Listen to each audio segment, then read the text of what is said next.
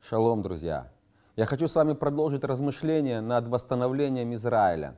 Это история восстановления Израиля как народа Божьих в его отношениях с его отцом, она пророчески указывает или описана в истории Иосифа. Иосифа, брата, который был предан своими родными братьями, которые продали его, но через 22 года, встречаясь со своими братьями, Иосиф делает этот шаг навстречу. Я хочу сегодня, чтобы мы увидели те пророческие события, которые позже произойдут в истории народа Израиля. Иосиф, который является пророческим образом Иисуса Христа, Ишуа Мессии, он восстанавливает свои отношения со своими братьями. Это то, что однажды произойдет в истории Израиля. Отношения Израиля и Мессии в конечном итоге будут восстановлены. Но я хочу, чтобы мы сегодня увидели, как это происходит в книге «Бытие». 45 глава, 1 стих. Иосиф не мог больше удержаться при всех, стоявших около него, и закричал, «Удалите от меня всех». Я хочу, чтобы вы увидели, что однажды Ишуа, он придет, и нога его ступит на горе Илионской, и он придет к своим братьям, к народу Израиля. И это будет встреча личная, что это действительно будет знамением для народа Израиля. Они понуждаются в нем. И Писание говорит, и, и сказал Иосиф, третий стих, братьям своим, я Иосиф, Мессия, однажды откроется своему народу.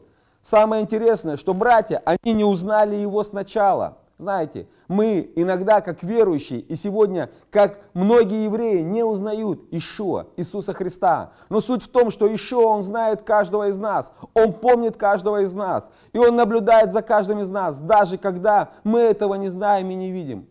Он знает, и Он помнит. И Библия говорит, и сказал Иосиф братьям своим, подойдите ко мне. Они подошли, он сказал, я Иосиф, брат вас, которого вы продали в Египет.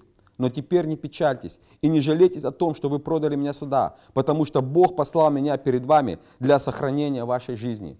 Это пророчески указывает на то, что Ишуа пошел впереди, о том, что Ишуа, он сделал для своего народа Израиля, он искупил его. И через то, что он искупил и восстановил свои отношения Израиля, в конечном итоге будут восстановлены отношения со всем человечеством. Ишуа есть жертва умилостивления за грехи всего человечества. Интересно, что говорит Ишуа своим братьям.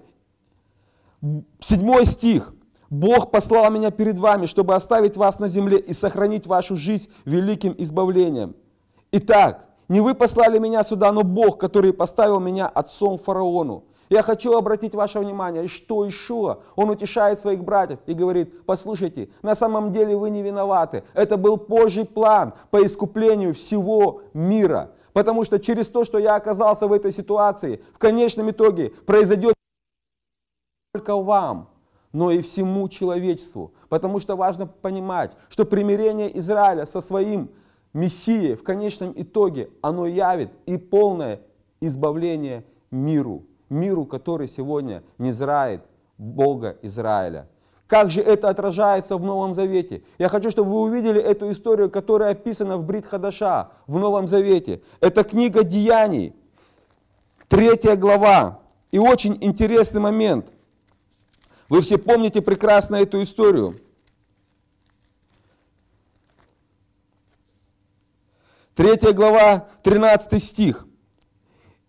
И увидев это, Петр сказал народу, мужи израильские, обратите внимание, что Петр или Симон, он обращается к своему народу, к народу Израиля. Он говорит им следующие слова. Бог Авраама, Исаака, Якова, Бог отцов наших, прославил сына своего Ишуа, которого вы предали и от которого отреклись, перед лицом Пилата, когда он полагал освободить его. Но вы от святого и праведного отреклись и просили даровать вам человека-убийца. Обратите внимание, он говорит в 17 стихе, «Впрочем, я знаю, братья, что вы и начальники ваши сделали это по неведению». Вы видите, как это указывает на те же слова, которые говорил Иосиф своим братьям. Вы это сделали по неведению. Это был план Божий. Поэтому не печальтесь, не огорчайтесь. У вас сегодня есть возможность примириться со своим Мессией. Он обращается к народу Израиля. И самое интересное, важно понимать, что он это говорит к тем людям, которые, возможно, участвовали или были свидетелями того, как Иешуа был распят на Голговском кресте. Он говорит, им следующие слова в 19 стихе. «Итак, покайтесь и обратитесь, чтобы загладились грехи ваши, да придут времена отрады от лица Господа, и да пошлет вам предназначенного Иисуса Христа». Знаете, это важно понимать, что предназначенного вам, иными словами, заранее обещанного. Ишуа, он был предназначен для народа Израиля. Несмотря на то, что они принимали, не принимали его, он говорит, он предназначен вам которого небо должно было принять до времени совершения всего, что говорил Бог устами святых своих пророков от века. 25 стих.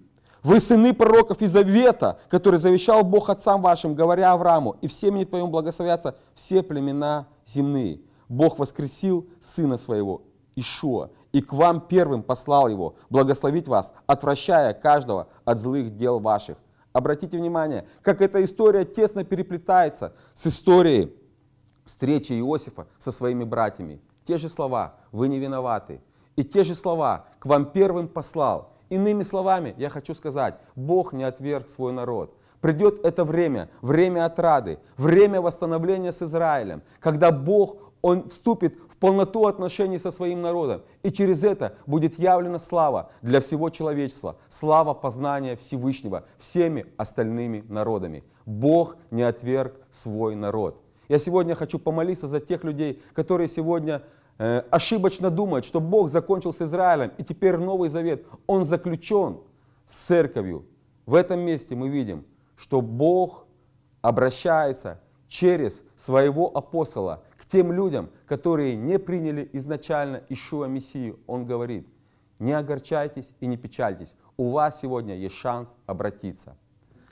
Дорогой Отец Небесный, во имя Сына Твоего, Ишуа Мессии. Я прошу сегодня, благослови моих братьев, верующих, Господь, из неевреев, христиан, чтобы то сегодня учение, которое есть в их сердцах и в их разуме, что Бог закончил со своим первенцем, с народом Израиля, что это ошибочное и ложное учение, чтобы они поняли, что Бог желает полностью восстановить свои отношения – свои отношения с народом Израиля. И что однажды наступит момент, когда народ Израиля придет покаяться и примет Иисуса Христа. Потому что в Слове Божьем написано, весь Израиль спасется. Я прошу, благослови сегодня моих братьев из неевреев, братьев христиан, чтобы они стали в проломе за народ Израиля и помогли народу Израиля обратиться к своему Богу, Богу Авраама, Ицхака и Якова. Во имя Сына Твоего, Ишуа Мессии, молю Тебя. Аминь.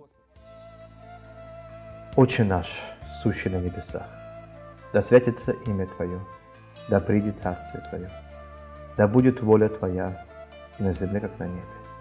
Хлеб наш насущный подавай нам на каждый день. Прости нам долги наши, как и мы прощаем должникам нашим. Не веди нас в искушение, но избавь нас от лукавого. Ибо Твое есть царство, и сила, и слава во веки.